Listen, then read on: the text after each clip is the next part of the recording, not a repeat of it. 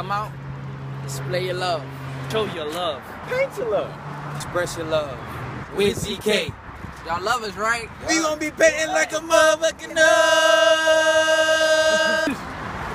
Round two, boy, come out here and paint.